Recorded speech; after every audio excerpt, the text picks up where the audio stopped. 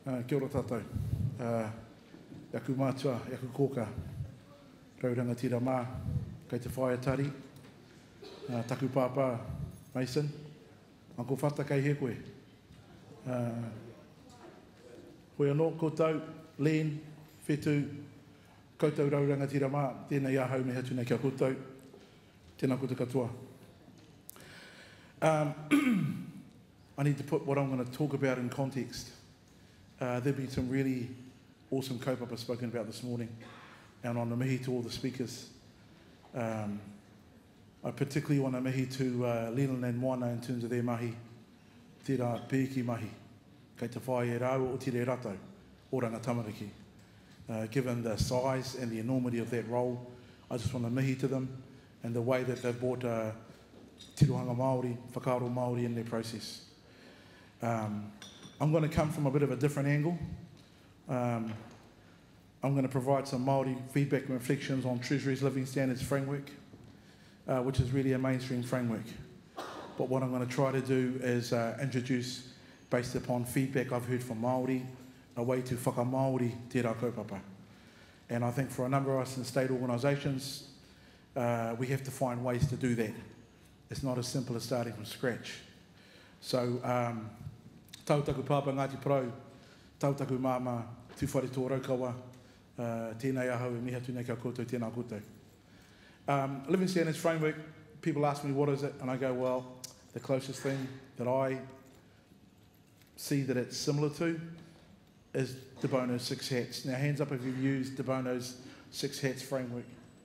So, in a nutshell, De Bono's framework is a way of thinking about a problem. And then the hats and the colours are domains or ideas or concepts. And if you had six people and you had a kaupapa in the middle, that each kind of take turns at saying a whakaaro or their thoughts based upon what uh, hat they represent or what kaupapa they represent. So it's actually a thinking framework. Yeah? It's a way of walk, working or walking through problems. And what I like about De Bono's framework is that while it does focus on data and facts and info, and you look at risks, issues, benefits, opportunities, there's also something about there about creativity.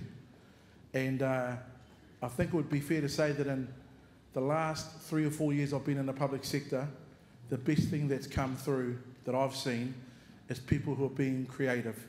That we need to move beyond the data, that we need to find ways to work in the experiences, and we probably need to create new solutions and be creative uh, in our way of doing that, uh, our approach to it. And just on that, I mean, um, I think that's where listening to Uncle Mason and Uncle Fata talking about their drinking in Canada or whatever they were doing, talking about you know 25 year strategies or 50 year strategies for various iwi, you can see that that creativity is part of who we are.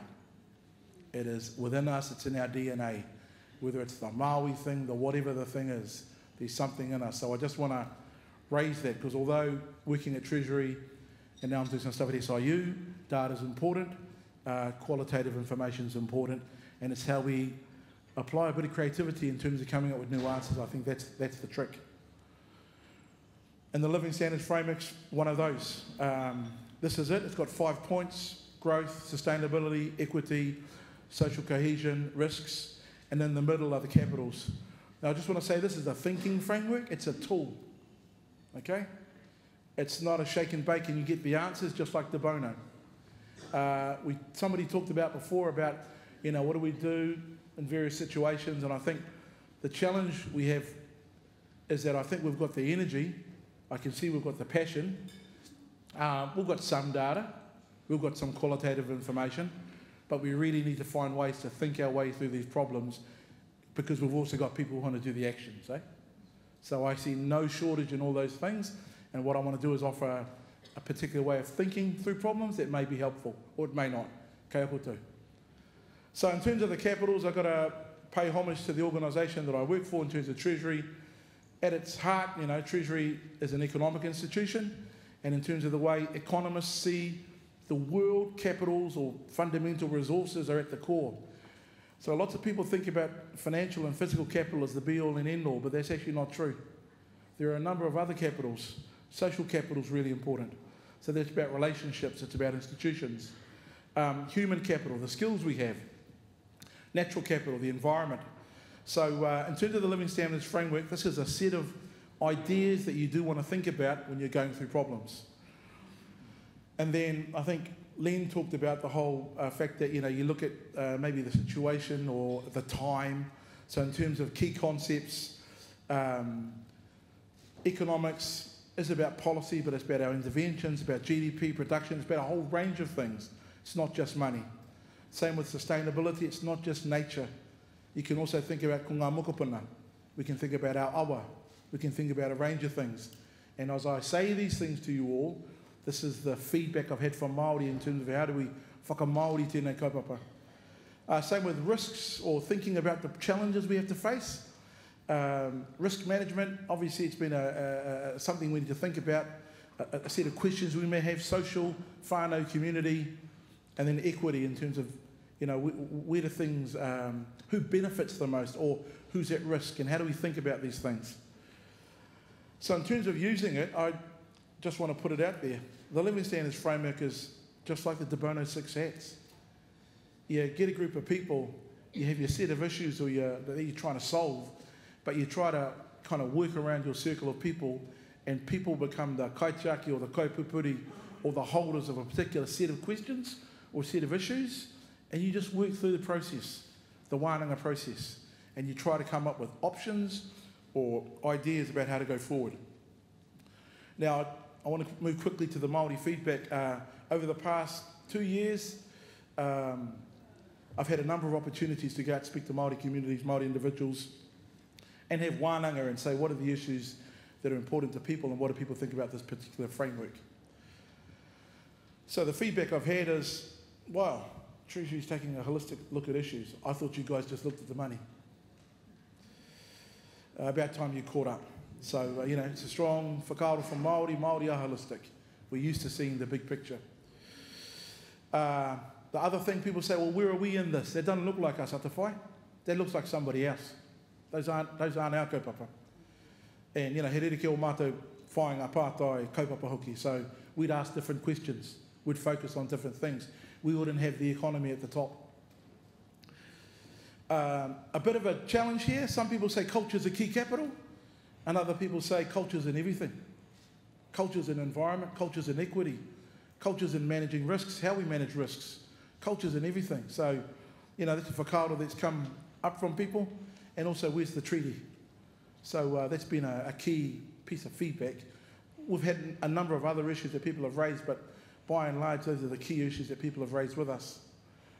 Uh, I'm almost at the end, but one of the things we've been impressed with is the Ruapehu Whānau Transformation Framework. We go around the motu and we see people, and Māori are framework people. I've seen a large number of frameworks. Uh, the Whakatupuranga 2050, uh, I, I, was at a hui last week, a whānau ora hui. They were talking about their goals, their aspirations, the things that they hold important to themselves, and also thinking about measures, quant and qual. Uh, Ngāti Porou, they have an outcome measurement, measurement framework. There's a number of frameworks that Māori have.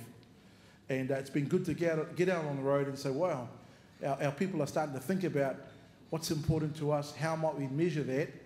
Um, I would say, and I su- support you, Len, there's a bit too much focus on what, with the data. Uh, all the qualitative researchers in the room will know. Uh, statistics, they're not the only thing. They are important, but there are other ways of getting insight through case studies and other things. So it's how we join those things together, I think, is the trick and this is the feedback from our people. So, this is our framework now, and based upon the thinking from people and the feedback and the kōrero, I've been thinking about he tirohanga Māori, so this is a Māori perspective, not the Māori perspective. Okay, listening to our people. So obviously those capitals are in the middle. Uh, people are important, nature's important. And I was at a, a land hui Two weeks ago, and I was reminded by an uncle, Atawhai, money's not the main thing, but it is a thing. It is a thing. Um, so, still thinking about um, the risks, the economy, equity, um, social ish, uh, social cohesion, uh, but maybe putting sustainability up the top. This is a key piece of feedback from people. The treaty, it's got to be in there somewhere. So a form of partnership capital. I think that's a key thing that Māori talk about. And finally, putting it in a, a frame that is ours. So, uh, kura noi hoi hikama. Uh, mehe me he whakaaro he pātau koutou. I'm going to be available afterwards if you want to ever talk about this. Feel free to come and have a talk to me. Anei taku i mera. Mauri ori kia koutou.